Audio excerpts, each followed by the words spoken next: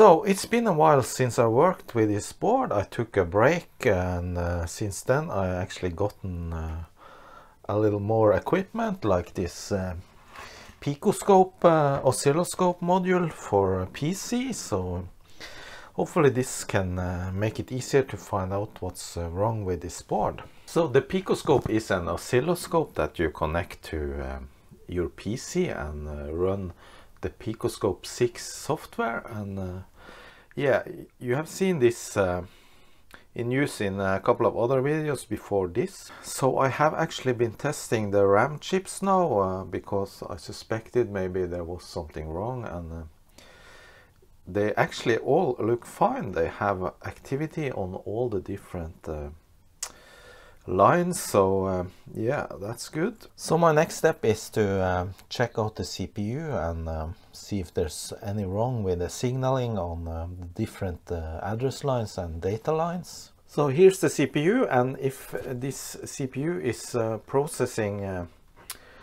instructions normally there should be activity on all the data lines which are from pin 38 down to pin 31 so I'm just starting to uh, to measure uh, on those pins 38 yeah seems to be a good amount of activity there. So let's check out um, the other data lines down this CPU and uh, yeah. Uh, 38 seems fine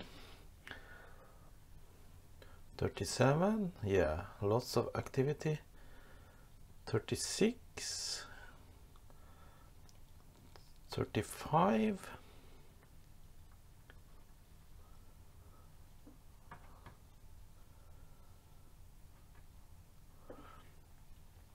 all right that seems a bit strange. That's pin uh, 34 so yeah, pin 34 seems to be just floating below 2 volts and the next is fine. So when checking the schematics, uh, I see that uh, the data bus goes uh, into this U12, uh, then onto the Z80, so I'm gonna measure a little bit around there. So U12 is this chip here and it is a multiplexer and uh, D4 on this chip is uh, pin 13 so uh, let's uh, probe that one.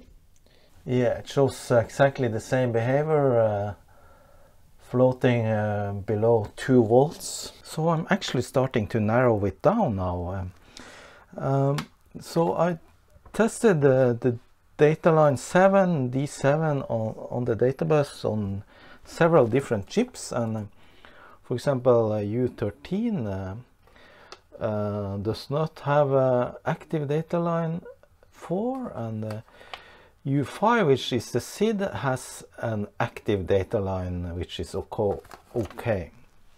Uh, then this uh, CIA chip on this side uh, does not have a D4 active but CIA on the other side uh, actually has it active on D4. So if I test for uh, continuity between uh, one of the CIA chips and uh, the SID chip, you see they, they are connected and if I test uh, to the other CIA chip uh, down on this side, so there's actually no continuity on, on the trace between the SID chip and this CIA chip here if I check the next data line there actually is. So yeah that narrows it down. Probably a broken trace on uh, this board. And uh, I suspect it's around here because uh, there was uh, some corrosion actually here. So so I'll check this up very closely now so I have measured a little bit around and my assumption is uh, actually correct. Right around here uh, there's uh, D4 going right down here and uh, onto this chip and uh, there is actually a broken trace between this point and this point. And I just found the corresponding points on the back side. This is from the SID chip and uh, this is the via going through to uh, the other side that I need to connect.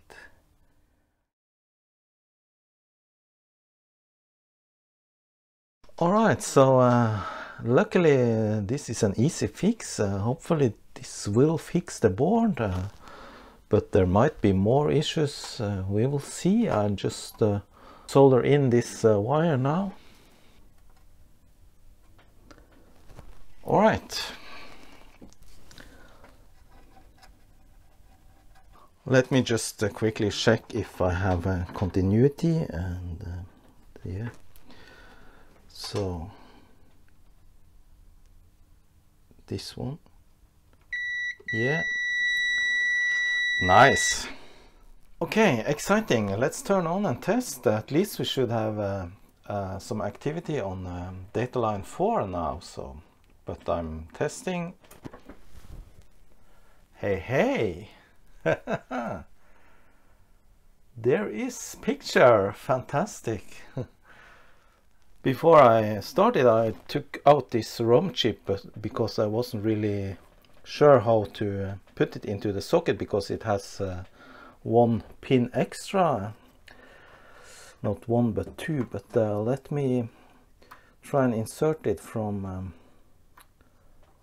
yeah like that so turning on. Hey! Fantastic!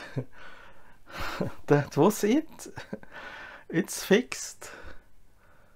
Oh no, I'm really happy. I I I've been struggling a lot with this and uh, finally just uh, having the oscilloscope helped me nail down the problem so amazing Excellent. Uh, anyway, I still have some more work to do uh, before I declare this machine 100% uh, and uh, can start uh, assembling it again.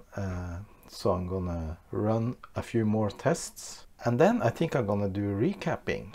So I had this board running for a couple of hours now and no issues, nothing getting too hot, but now I'm gonna try the diagnostics cartridge. Um,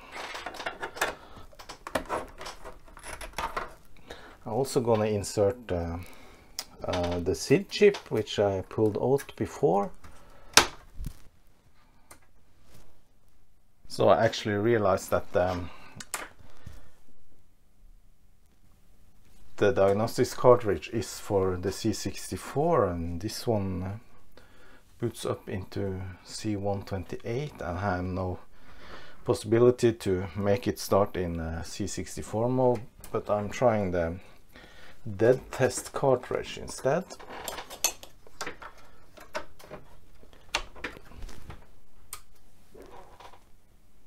So there you go. This actually boots. A little bit uh, shabby picture quality when I am uh, filming the screen but uh, yeah that's how it is. So the RAM test is actually okay. I didn't hear anything for the sound test so not sure about that yet. Oh my god I actually inserted the SID chip uh, by one um, pin off the socket so hopefully it's not uh, gone by now And there's actually the SID test. Yeah, sounds nice. So I'm just putting the board back into the case and I'm gonna do a little bit of uh, functional testing before I continue with uh, the restoration.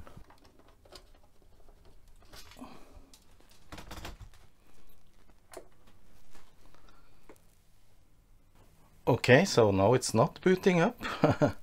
strange. Ah I realize why it won't uh, boot up because it's uh, set to 80 column display so turn that to 40 and uh, reset. Yeah look at that. And the keyboard works amazing. I'm almost not touching uh, the keys at all. Uh, yeah, come on. Let's try a Go 64. Yes, I'm sure.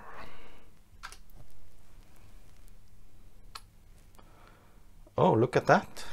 That actually seems to have another font than the original C64. Maybe there is some uh, mod in this.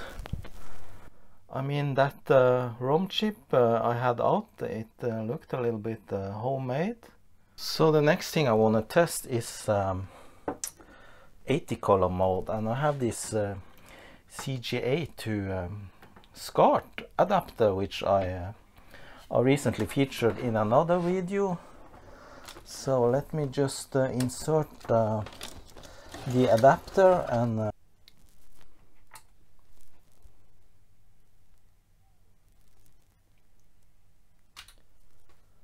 amazing. Everything works. That 80 column mode is just uh, fantastic.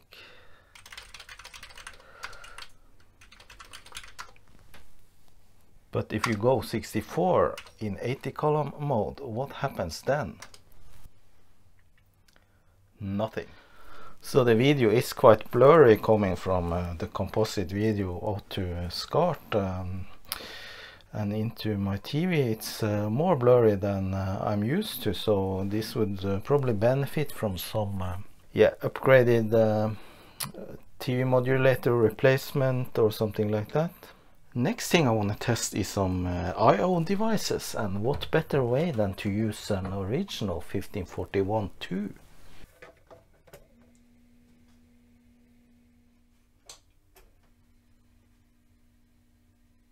So let me take some uh, random uh, floppy disk here and uh, insert. See what's on.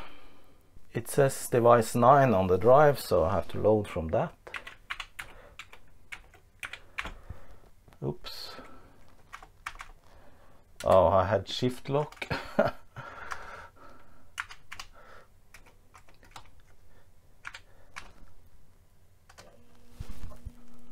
yep, loading.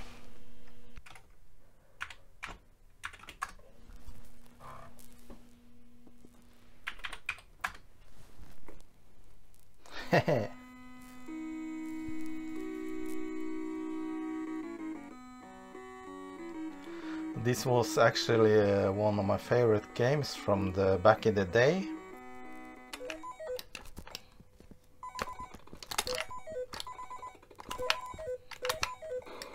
Oh, man. So the machine is working just fine in uh, my eyes and um, one thing I can't really test is the Z80 CPU as I don't have any CP/M floppies or anything. Uh, anyway, now I'm gonna do a little bit of more uh, of the restoration that's uh, left like uh, this um, corrosion and things like that and um, yeah. So I've taken the board uh, out again and I'm thinking about cleaning up some of the corrosion that's uh, around this area here. Um, I try to zoom in a bit. So there are a few uh, dark spots um, here and there and uh, yeah I thought I'll gently scrape off the solder mask and uh, and remove the the green stuff the corrosion and uh, fix it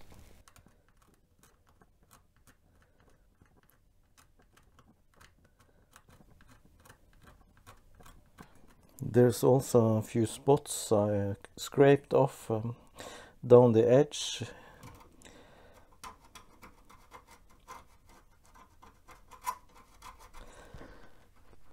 It's not uh, becoming pretty, but I think it's uh, better to get rid of the, the corrosion than uh, looking nice. Here's a spot too. Look how the corrosion has uh, discolor the, the metal under the solder mask.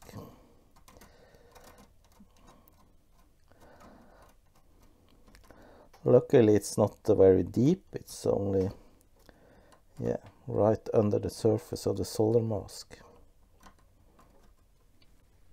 I'm also using this uh, fiberglass pen just to to get away all the remaining shit.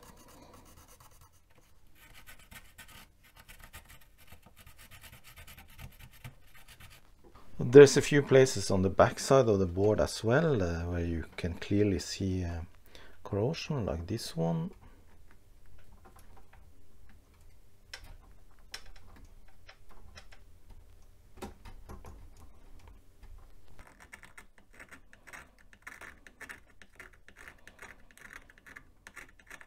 So I think I got away most of the corrosion. Obviously not 100% because that's not possible. There are many small stains all over the place. But at least most of the bigger spots I have removed and uh, I can actually feel uh, it feels like uh, acid. Uh, actually my my skin in the in my face is uh, starting to burn a little bit like it's acid in the air. Anyway now I take some vinegar and uh, apply onto the places where I have scraped just to neutralize it even more.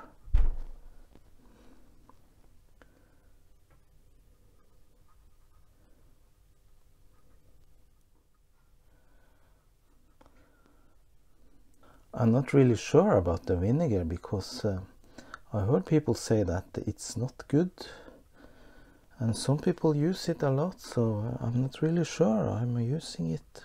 Alright, I have applied the vinegar on both sides and uh, not sure how long it takes until it evaporates but uh, I'm gonna leave it on for a while now and then I'll clean it off.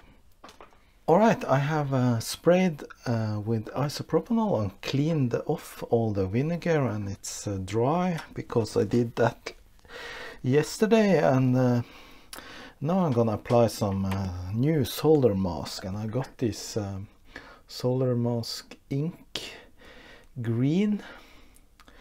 I'm gonna use this one.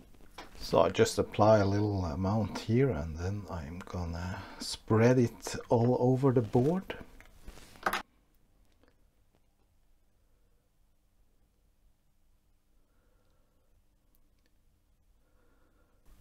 Uh, so why is this important? Well, it's because you want to cover up uh, the copper so that it uh, don't start uh, another corrosion process or get a lot of uh, oxidization. So that's why. I just spread a thin layer over the parts where I have scraped off uh, the old solder mask. So this doesn't look too bad actually compared to the original uh, solder mask color.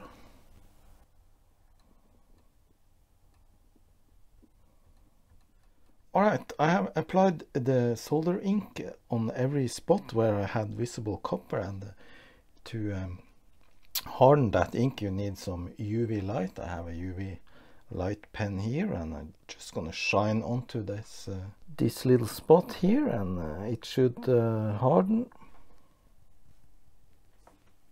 So I just uh, shine the UV light for a couple of seconds actually and yeah it's already hard. Amazing. So I think I had a little thick uh, layer some places. Uh, I should have used a fine uh, paintbrush or something, but uh, hey, this is what I have. Alright, I think this is starting to be finished and uh, actually I'm ready to um, yeah, complete this machine. Just uh, some more things left to do like um, the metal case. So the metal cage or case is, uh, yeah, as you can see, quite uh, corroded. Some uh, white area around here and rust stains on uh, both upper and uh, bottom uh, part. So I'm gonna use a steel brush on those.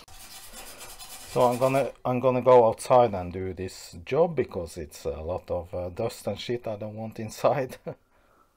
So I brushed off uh, most of the loose co corrosion and now I'm gonna do what I I have done before with success. In my sink I have uh, just uh, water and then I add some uh, caustic soda which is this stuff and it's the same as um, lye. So I just add a good amount. Now this reacts with the water as you can see and it creates a basic solution that is uh, excellent for uh, stopping corrosion or uh, dissolving rust and things like that. This is very strong uh, stuff so um, just uh, be careful and uh, not get anything in your eyes on or on your skin. Then I leave the metal cases in the water for a while. I've taken out the metal and uh, let it uh, dry and uh, it looks very nice. Now the rust and everything is gone just a little black stains uh, where the corrosion has happened. And now I'm gonna spray with a little WD-40 I just spray on this uh, cotton pad and uh, yeah just wipe the surface This makes the surface uh, not so dry and uh, hopefully it protects a little bit against uh, more corrosion. So time to do some uh, recapping and uh, there aren't many caps actually on this board. There are a few here over with um, these larger ones.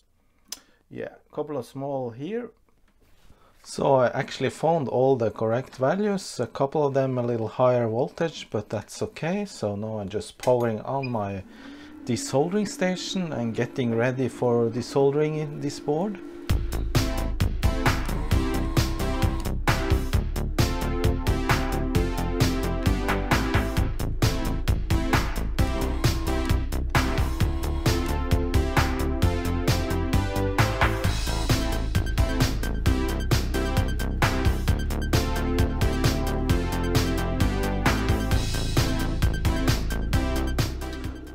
Little cleaning of the mess.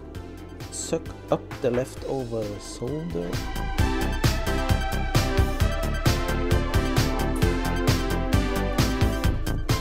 So this is uh, some liquid flux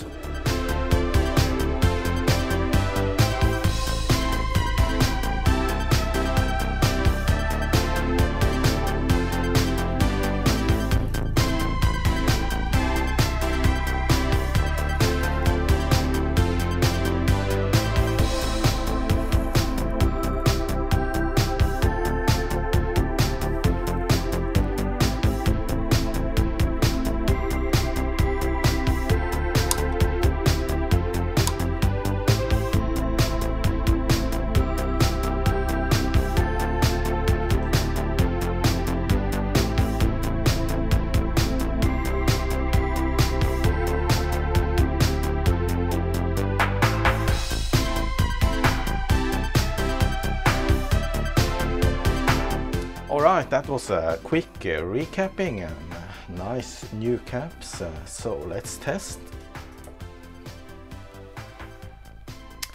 Alright, seems to work just fine, excellent.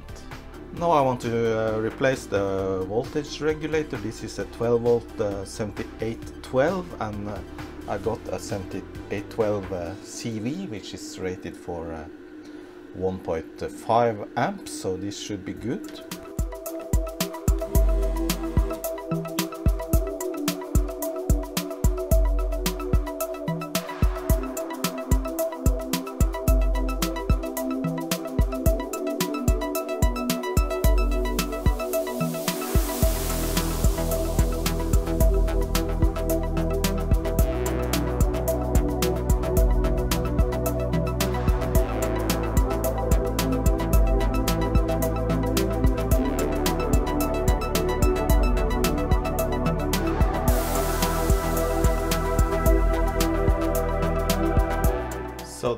Blurriness on the screen, I actually got a replacement uh, uh, chip I'm gonna test.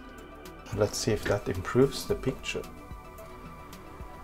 Uh, no, not much. So uh, that's probably due to um, the modulator perhaps. Alright, I'm finishing up this machine. It's been a lot of work. Uh, I'm not gonna do anything uh, to improve the picture quality, not in this video anyway, but uh, maybe later we'll see. So I'm gonna assemble the machine now and then um, perhaps uh, test a few games.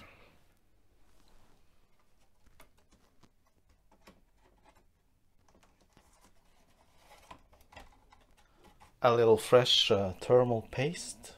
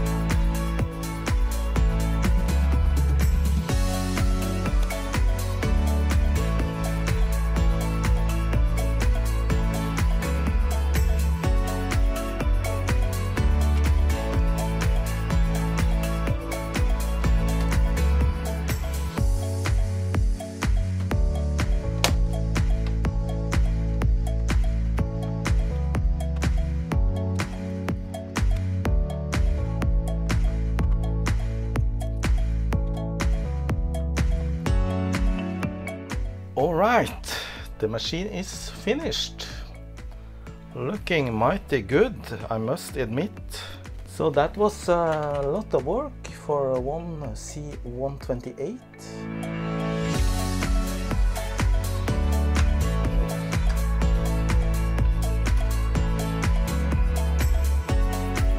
So I'm just running a little uh, dead test uh, diagnostics uh, cartridge and uh, see if anything changed.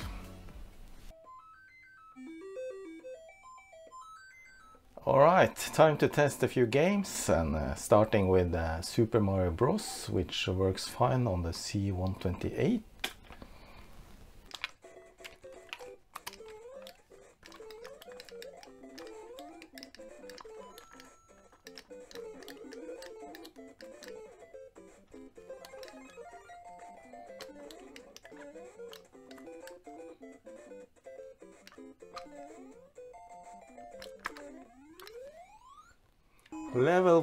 Cleared.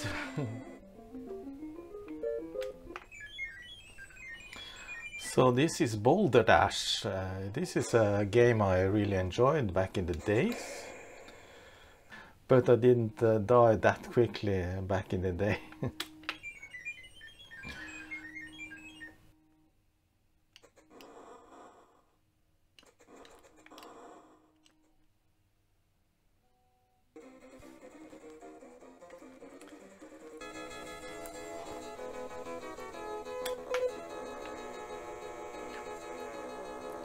Nineteen forty two.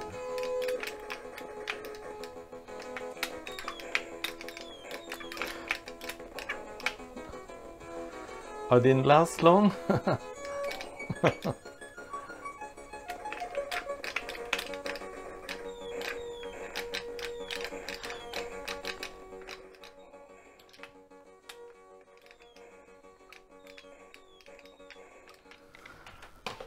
Alright, that's it for uh, this episode and uh, this series of uh, this uh, Commodore 128 from uh, trash to treasure. So it was a lot of work, but uh, I think it's worth it now that you see the result and the machine is shiny and fully operational again. Anyway, thanks for watching and hope you enjoyed this episode and hope to see you soon. Bye bye.